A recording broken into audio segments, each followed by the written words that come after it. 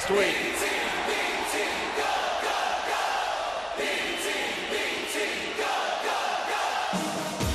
You can feel the magic in the air already here in New Orleans.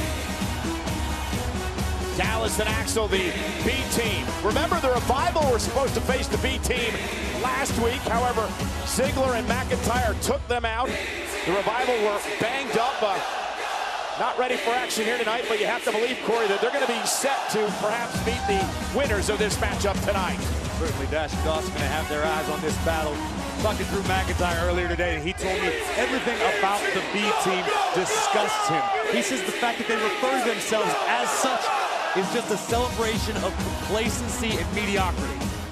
Stands for best team. I don't see what the problem is. You have an opportunity to talk to the B team today? I did. I talked to them earlier today, and you know, they're excited to have this other opportunity. They're excited to challenge Dolph and Drew after everything that happened last week. They haven't lost a step. And I think that this whole Cinderella story we've talked about, we're going to find out that this is this is a fact. They're a great team together.